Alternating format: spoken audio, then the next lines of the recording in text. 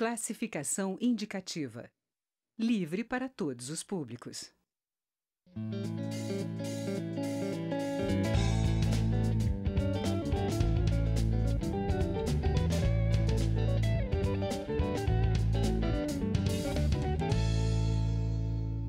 Olá! O primeiro ano da nova legislatura do Congresso já começou e um dos parlamentares que voltam à Câmara é o deputado Flávio Nogueira, do PDT do Piauí. Formado em medicina, ele já foi presidente do Sindicato dos Médicos do Estado, além de ter sido também secretário de Turismo e secretário das Cidades do Piauí. E é para falar sobre as propostas, projetos e perspectivas para o mandato que a gente conversa agora. Olá, deputado, bem-vindo à Palavra Aberta. Obrigado, estamos aqui. Deputado Flávio Nogueira, o senhor está voltando agora e agora para ficar os quatro anos? Graças a Deus, né? Passamos aqui uma, uma temporada, né, como suplente de fato foi um aprendizado e valeu, né? Porque eu conheci a casa antes do mandato completo, né? Claro. Então, estamos aqui nessa, pra, nesse quadriênio que vai ser muito difícil, quadriênio de reformas, e eu acho que deveremos ter aqui grandes embates, né? espero que sejam produtivos, porque a pluralidade aqui é grande, e isso é bom, né? É bom embora eu seja contra esse número exagerado de partidos, mas de qualquer maneira eu acho aqui que eu falo da pluralidade assim, cultural. Eu, eu já pude ver que houve uma renovação muito boa. E espero então que nós possamos aqui, possamos discutir bem aqui. Deputado, qual vai ser, senhor, a gente acabou, como eu acabei de falar, o senhor tem experiência em várias áreas da administração. Qual vai ser a sua prioridade número um nesse primeiro ano de mandato? Faltou, faltaram aí duas, duas outras. Por favor. Fui presidente do Instituto de Previdência do Estado do Piauí e ainda secretário da Defesa Civil. Né? Não, a prioridade nossa é a Previdência, né? Mas eu estou com muito medo disso. É, desse, vai ser o tema do ano, né? Desse Mas, debate, diga. porque pode ser que Pode ser não, já está se criando a expectativa de que uma vez essa reforma aprovada, é a salvação de tudo. Né? Mas sabemos que os efeitos disso são de longo tempo. Aprovada a Previdência, nós não vamos pensar que estaremos resolvendo essa crise econômica que é grande. Por isso que eu acho que, associado a essa reforma da Previdência, nós deveremos ter também a reforma tributária e a reforma administrativa, para que nós, aí sim, esse conjunto de reformas, nós vamos dar um salto grande. Então, eu estou muito esperançoso de que o governo possa estar também mandando para cá a reforma tributária e a reforma administrativa. Dessas três, qual que o senhor acha que é a mais importante? É, colocaram que a Previdência seria a principal. Talvez sim, por causa dos estados, eu acho mais do que da União. Os estados, por exemplo, o nosso estado, do Piauí, sim. e da qual eu tenho mais conhecimento, é, vive sofrendo muito, por, porque todos os meses tem que passar.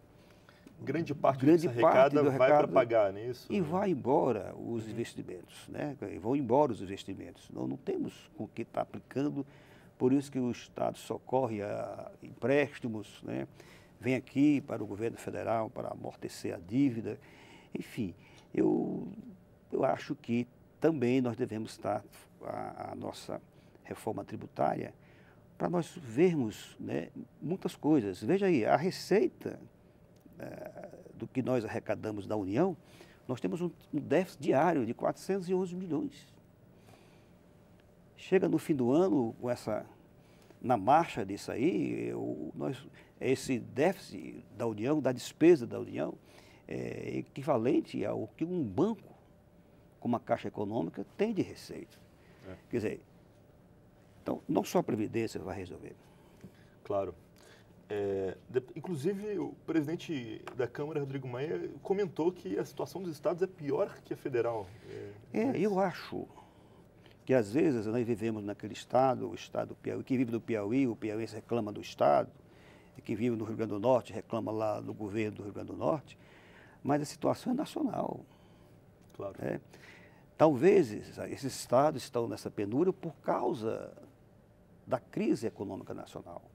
Porque os estados dependem do muitos estados, é, depende do repasse. E os municípios, pior ainda, dois terços dos municípios do Brasil vivem a custo do repasse que vem do governo federal, via governo estadual, até chegar lá. Então, sem uma reforma fiscal é difícil, muito difícil. Nós não estamos estando, retornando aquilo que no passado tivemos aqui uma economia equilibrada. Deputado, um dos problemas é, que a gente vê há muitos anos já para uma reforma tributária ou fiscal, a gente pode usar qualquer nome, é que ninguém quer perder, né? Isso, é, e, e isso meio que inviabiliza né? Toda vez as tentativas até agora. O senhor sente que o clima está um pouco diferente, que agora pode se chegar a alguma coisa? Tanto na reforma tributária quanto da reforma da Previdência. Uhum. Eu acho que essa reforma da Previdência ela tem que ser ampla e restrita. Que todas as categorias possam também estar sofrendo a própria carne. Porque senão não resolve. Sem exceções, né, deputado? Lógico. Por que, é que uma categoria é privilegiada em detrimento de outra? Não tem sentido. Então, para que todos possam ficar, portanto, satisfeitos, tem que ser uma, uma reforma da Previdência que esteja, infelizmente, mexendo com todas as categorias. E a reforma tributária, idem também. Por que nós não, fiz, não vamos fazer um estudo sobre essa renúncia fiscal? Claro. Mexer nesses incentivos fiscais, nas isenções, nas, nas isenções fiscais, né? É isso que tem que estar também debatendo. É. Né? Vamos explicar para o pessoal lá de casa o que são essas renúncias, esses incentivos, né? Quando é. um governo, um, um, um, é, explica bem, o senhor é, O incentivo fiscal do governo deixa de receber o devido daquelas empresas para que ela possa expandir naquela região é, ou então naquela área. Então, o governo deixa de receber, só que ele deixa de receber daquela área, daquele setor, mas começa a aumentar os impostos na gasolina, os impostos na, na energia elétrica, enfim, tira de um lugar, bota da outra, bota da outra. Então, que vai sofrer? O pequeno, é, o industrial, o grande empresário, que, que, que, que geralmente é os beneficiados, aliás, nem todos, são poucos, é uma elite, é, faz com que nós hoje temos esse déficit fiscal grande, entendeu? Então, nós temos que estar mexendo nisso com muita maturidade, sem nenhum revanchismo e nem está querendo prejudicar é, ninguém. Nós queremos é que tudo seja resolvido para o bem de todos. Não pode ter privilégio nem aqui na Previdência e nem também no setor empresarial e no setor industrial. Deputado, o senhor já conversou um pouco sobre previdência, sobre fiscal, e quando o senhor fala de uma reforma administrativa, o que, que o senhor tem em mente? Diminuir o Estado. Né? O Estado ele tem que ser diminuído, não só o Estado Nacional, o Estado do Brasil, mas também os estados da, da federação. O que, que eu gostaria que tivesse nós todos do Brasil? Nós, nós sabemos que muitos dos estados são governados por governadores que não são do mesmo partido do presidente, que é o caso do estado do Piauí. Então, eu faço fé de que não vai haver diferença de um, de um estado que é governado pelo PT, por exemplo, que é aí existe um maior acirramento ou de outra agremiação partidária com o governo federal.